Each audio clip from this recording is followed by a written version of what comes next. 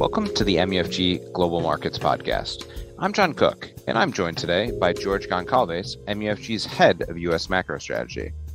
It's Tuesday, June 14th, 2022. Welcome back to the podcast, George. Good to be back as always.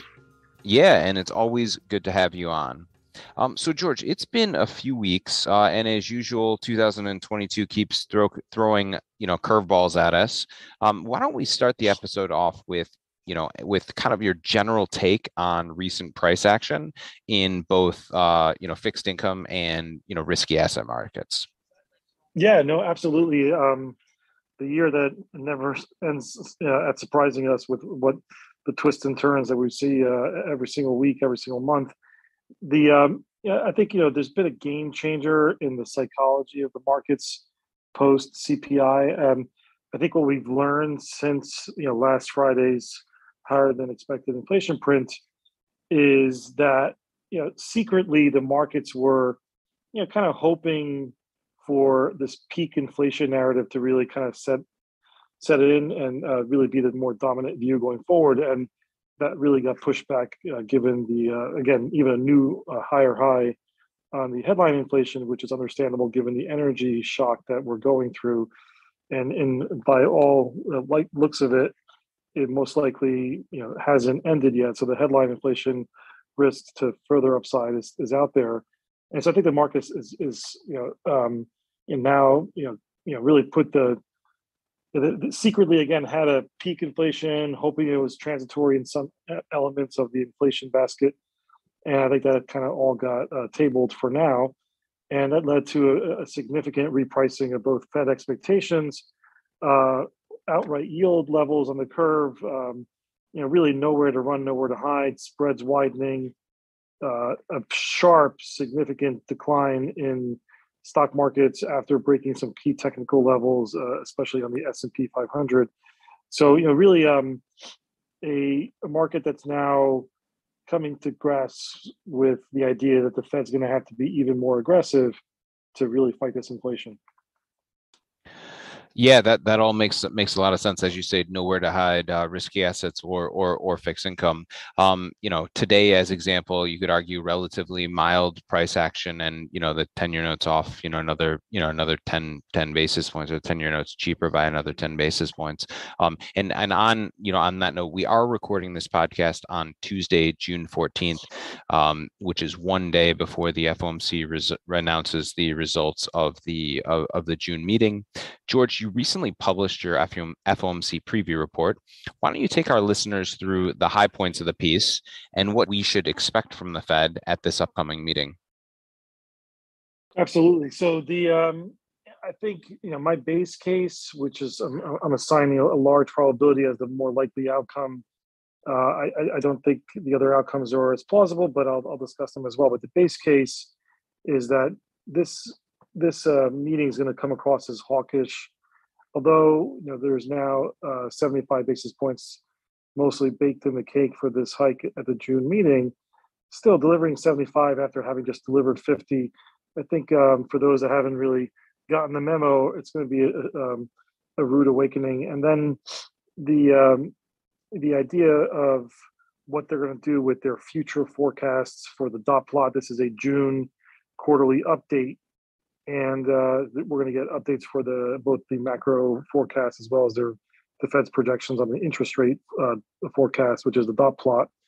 And I think that you know if they're truly you know expeditiously silly trying to raise rates, they're going to have to close the gap between the 2022 forecasts as well from the and the 2023. If you look at the 2023 and 2024, uh, you know terminal dots, they're kind of close or or above actually the um, the long run uh, dot of roughly 2.375 or 2.5, which is you know uh, in, in real Fed funds 50 basis points uh, based on the Fed's long run target of two percent inflation. Uh, you know, if the Fed were to shift all median forecasts into the mid threes, getting closer to the market expectations, maybe not necessarily meeting it. I still think that's a, a hawkish development.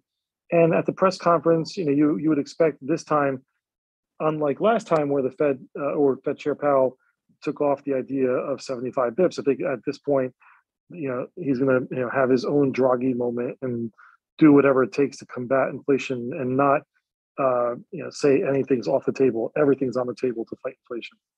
So that's the base case. On the hawkish side, they could up the ante. I mean, it's kind of hard to get more hawkish than what I just described as base case. That seems pretty hawkish as it is. Um, they could be more aggressive with the rate forecast path is one, and in the Q and A, um, you know, there you know there's this uncomfortable you know uh, view about the the Fed's never going to be able to really shrink the balance sheet because now they're pushing up long-term rates and it's going to be hard for mortgages to prepay. If the idea of selling assets or some sort of facility that allows them to proactively sell treasuries and mortgages to kind of backfill the cap every month to get up to close to 95 billion something like that would really get the markets uh, uh, roiled. So i think that's the two hawkish uh, base cases hawkish. Hawkish uh, scenarios even more hawkish. The dovish scenario which i assign low probability is like what if we're wrong and they cannot form consensus on doing 75 bips and instead do 50 which is still a big hike but not what market's expecting? And any sort of mention around they're nervous about market dynamics and liquidity and just how market function given all the financial conditions tightening. Any sort of like language around that would be dovish by a sign a very low probability. It's too early it's too early for them to get dovish. This will be the third hike.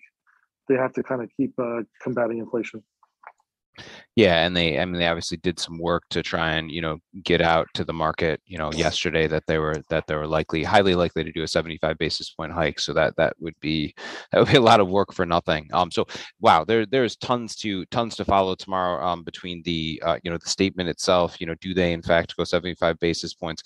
What did the summary of economic projections look at as well as the this this crazy hawkish scenario that you that you put out there um which although low probability seems very plausible you know they they sort of you know give us some sort of framework uh, for for you know for actively selling bonds. So plenty to plenty to unpack there but i suspect what our listeners really want to know is how the market would react to those three scenarios. So why don't you take us through it? Yeah really quickly i mean we've we've now unanchored the the long end of the curve twice. You know between the 250 325 range. There was really no support in between. We tried to make a run towards 270 on the 10 year.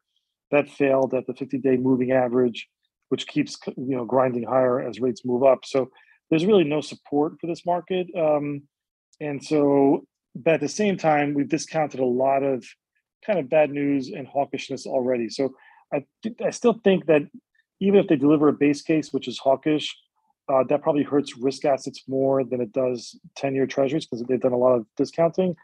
And on the curve, I still think overall the posture of a flattener makes sense because they're going to be adjusting the short rate policy for a number of more hikes. So I, th- I think there's a you know a mild mild flattening with tens maybe rallying, 30s rallying a little bit after this big sell off uh, on the base case. On the hawkish scenario, it's it's it's the, almost the flip side because if they do have to proactively sell treasuries and mortgages, then you know, you know mortgage duration would hit um, you know the belly of the curve. Uh, so I think that would be a steepener uh, on the hawkish scenario. On the dovish scenario, minor steep. I mean, oh, actually, a decent steepening because it's a 50 bip versus a 75. So we get a decent move in the two year, uh, but the whole rates market would rally, uh, and risk assets would do you know phenomenally well. Um, but that just adds noise and volatility in what is likely still a bear market environment for overall financial assets. So the dovish scenario, I, I, don't think it would be a time to to reload on risk. I think it'd be more of an opportunity to shed uh, risk. And so, if we were to see a rally in assets uh, because the Fed is dovish, I think that's a, a selling opportunity. Um, meanwhile, I think we're getting closer to averaging back into higher rates uh, where treasuries uh, are competing with credit and mortgages. So I think uh, the hawkish base case provide you a chance to kind of get back in uh, at higher rates. Got it. Yeah, that that sounds like there is um there's a myriad different ways the market could market could react to this, but just in summary, definitely noting that a dovish uh, posture, you know, or, or, rather a flattening posture could kind of make sense, and uh, and dovishness uh, might be a might be a good opportunity to unload on some risk assets. Certainly resonates with me. Um, but for more, I would really encourage our listeners to check out George's June FOMC preview. And if you aren't receiving George's strategy reports, please feel free to get in contact contact with George directly. George, great stuff as always. Uh, and we will see what the Fed gives us uh, tomorrow or today if you're listening to the podcast. That's right. Thanks, John. And thank you for listening to the MUFG Global Markets Podcast. Rate, review, and subscribe on Apple, Spotify, or wherever you get your podcasts. And reach out to your MUFG sales rep for any further information. Check back soon for more insights from the Global Markets Research Team.